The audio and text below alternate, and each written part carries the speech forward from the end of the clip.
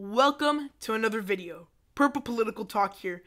And today we're going to be looking at the 2020 presidential elections as well as the races for Senate and House and answer a big question. Is this democratic momentum that we're seeing right now, is that going to turn into a wave or just a little push for the Democratic Party? So, we're going to answer that in this video, but before we begin, I want to remind you guys to please like and subscribe and turn on post notifications so you guys are up to date to our latest videos in our channel. So let's get started. So first thing we have to do is define the term wave. So there's realistically no real wave, um, a, a definition for the word wave when it comes to politics. I mean, but there is a general definition that a lot of people throw around. So a lot of people say it's a certain number of seats, um, um, taken over in the in either chamber of Congress or winning a popular vote by somewhat of a margin. So for this, I'm just going to um analyze them a lot differently. So I'm going to explain them specifically for what we're talking about, which each of the elected um, parts of government. So, first thing we're going to look at um, to just kind of feel what the consensus is right now. What is Donald Trump's approval rating and how this generally could affect. So, right now, I mean, Donald Trump is a little unpopular. I mean, compared to past presidents. So only he he's only approved by 41.2 percent of Americans compared to 54 who disapprove him, disapprove of him. So generally speaking, a 13.6 um percent net disapproval. So that is not amazing. And I mean, it's also one of his um he's like that's his average throughout his presidency, been in the low 40s throughout his presidency. So is this like super bad for him or can he still be elected? So I think right now, Donald Trump still has a chance to be elected, but I mean, if anything is to tell, I mean, these numbers are not great, which kind of signifies one of the first steps of a wave. Usually, when a wave happens, it's either because one, there's a very popular incumbent. In this case, that's not happening, or two, um, so if, if there's a popular incumbent, the wave would be in the incumbent's favor, and if there's an unpopular incumbent, it would be against him. So right now, I mean, the Republican Party, generally speaking, has been sinking and sinking and sinking. We're gonna three, see specifically why in this video, but I mean, this is just one example of how the Republican Party has been sinking. They were doing pretty good mid March. I mean, after the pandemic, Trump's approval rate, ratings rose. Only he was disapproved, um, only net minus four, which is the high, highest during his presidency except like the first three days, which I don't think count. Now, I mean, this is just an indicator, and we're gonna look at other indicators to ask answer our questions. So, is this a um a wave? So, first thing we're gonna um answer look at our latest polls for these are the generic ballot polls. So this would be um if you were to vote down ballot completely, which party would you vote for? And I want to show you guys. I think there is a very um interesting trend. All of these polls, except that one outlier, have Democrats ahead by at least five points. So these elections, I mean, being ahead by five points in a generic ballot is pretty good. I mean, consider that Hillary Clinton was she was only ahead by what? I think her generic ballot was around three to four points. The Democrats in this case, Joe Biden's ticket, um, and other Democrats down ballot, plus eight, plus eight, plus eight consistently, plus seven, plus nine. They don't have an average.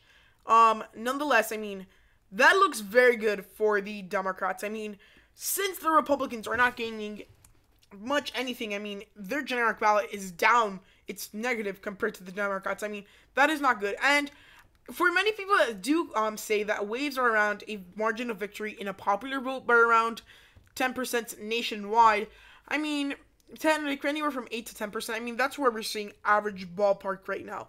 6, 10, 8, 8, 8, 8, 7, 9. Um, so that is ballpark what we're seeing right now. I mean, and if generic ballot is a way to tell if there's a wave incoming, um, that is going to be interesting to see. And I mean, honestly, at this point in time, um, we're going to have to be able to tell. I mean, what type of um, voter turnout there will be. I mean, yes, when there's a poll, I mean, people could say, I'm going to vote, I'm going to vote, I'm going to vote. What ends up happening is that some people don't go out to vote because either they say I don't want, they don't have time, they just don't get excited to go and vote, or it makes super difficult for them. So that's the thing we're gonna have to answer before we can finally like answer yes, a democratic wave is coming, or no, a democratic wave is not incoming. But I mean, these trends in these polls, I mean, consistently for yesterday, July 29th, July 24th, July 23rd, th- these polls are simply showing what the Democrats are ahead by. So I mean, nationwide generic where um Senate, House, everything included, Democrats are being they're up right now by about plus eight percent. With that, just one outlier um that's below five for the Democrats. So that's our first um thing more thing we're gonna look like. Now let's look at some latest U.S. Senate polls. So generally speaking, a lot of these Democratic races that um except like races in Democrat slash swing states for the most part, except Georgia because it's a weird primary system. Um, right now, oh yeah, but then Perdue and Ossoff. So yeah, that's another interesting thing to see. But what are we noticing? Very big amount of um, blue polls, except in the state of Georgia, and then South Carolina took poll, which this doesn't look too great for Graham if this is actually what's happening. So we're seeing in a lot of races, South Car- in North Carolina. So um, North Carolina, in Michigan, in Colorado, in Arizona, in Maine, all parts of the country are trending Democratic. So again, there's another thing. There is Democratic waves in one certain area, and there's Democratic um there's a Democratic wave nationwide. So we're looking at a Democratic wave nationwide. This just keeps on telling us that the chances of a Democratic wave are very high, just because of the fact that the most net results in most states have Democrats ahead, which again does not paint a good picture for the Republican Party. So when it comes to polling, I, I pulled these up just to show you guys how they've been consistently trending Democratic, but I really want to focus it on focus on focus on the three JHK forecasts. So the House, the Senate, and the presidential forecast. So we're gonna go through each of one and talk about the signs of waves and stuff like that. So here, first of all, the forecast. I mean, ninety-seven point six chance of keeping the majority for the Democrats. That looks very good for them, and that's not by itself an indicator of a wave. But this is going to be what we're going to be able to see what is an indicator. So first of all, this is a great indicator of the wave, this graph. So this shows the possibilities of certain house outcomes happening. I want you to notice something. So right here, this this line right here is the majority by just one seat. So this should be the median if it was evenly split. So this should be this round because again, we're seeing statistically a bell curve. So a bell curve in statistics is generally speaking, like results will always be around the same um, or symmetrical um, once you split the graph through its median. So this this this black line should be right here to make the the the, the, house the house forecast completely even, but it's not. This shows that the, the majority line is actually further back into the Republican column, meaning the Democrats have a huge chance of carrying this um, the House. And what are we noticing here? That the chances of Democrats gaining seats are quite high. I mean, um, if they stand almost equally. I mean, and Democrats could have super majority in the House, whether it's like 260 seats. Right now, they're currently at, if I'm correct, 233 to 202. So I mean, gaining 10 seats would be pretty good. And I think just considering how big of a wave 2018 was, gaining a couple seats is somewhat good for them. And this JHK forecast about the house. So I haven't made one specific about the house. I really do want to make one to talk specifically about them. But I think one big thing that we're seeing here is that there is kind of an even amount number of competitive races. Um, and actually, there might be more Democratic races that might be a little bit less competitive. But looking at the races filled in right now in the black circle, I think it's a pretty even number. So, I mean, the chances of a very big change in the House are somewhat low. But a wave is certainly um, possible, considering that some of these people um, and some of these congressmen may win the races um, they won in 2018 by larger margins. So this is the graph of the chances and stuff, and we see Democrats going up, and I mean that looks very good for them.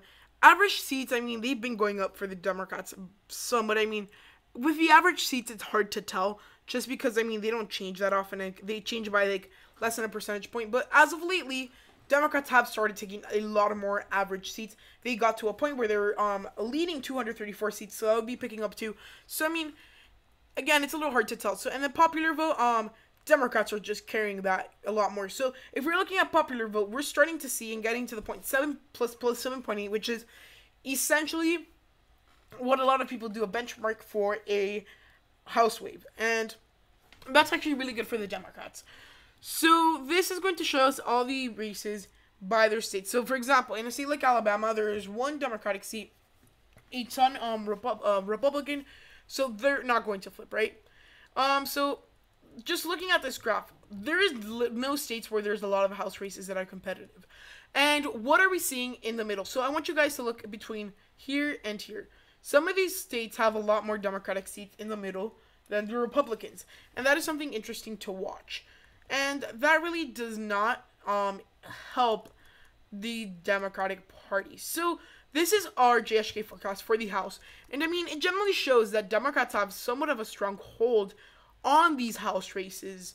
And they're expected to win a somewhat large amount of the popular vote. So that's the House forecast. The Senate, what about in the Senate? So are Democrats expected to carry a big amount of the Senate? So generally speaking, I want to look at this graphs because it's the most accurate when it comes to telling if there's going to be a Democratic wave. So, I mean, a Democratic wave, I would say, starts after they gain 52 seats, the average prediction. So, I, I think at, at this point in time, a wave is sort of like a best case scenario, but where the whole country votes together, quote unquote. So, right now, 53 plus seats for the Democrats in Senate is a blue wave, and the chances of that happening are quite high. I mean, compared to a, a Republican wave, which at this point in time would look something like 54 or 55 seats, I mean, they look somewhat more plausible.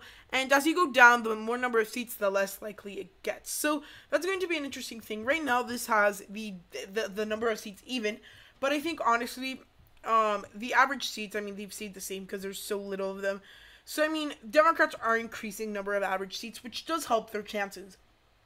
And then here, I mean, chances of taking over the House are are a little bit closer than the um the or no, the Senate is closer than the House. So that's something to note.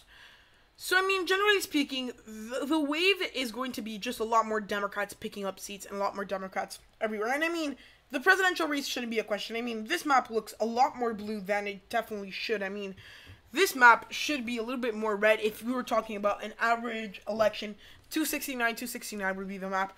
But in this scenario, I mean, Joe Biden's just outperforming all the metrics, which this enthusiasm for anti-Trump voters might really just light the wave. So if 2016, um, if a lot of people consider 2008, um, 2018 a wave, when I feel like it was a wave in the House definitely, but in the Senate, no, and there's no way to tell the presidential race. But I think honestly, this year is seeming up to seem like a very big year for the Democrats. And I also want to mention something else here in the Senate. I mean, I think it should look pretty bad, and they should be in pack of waiting for like a wave.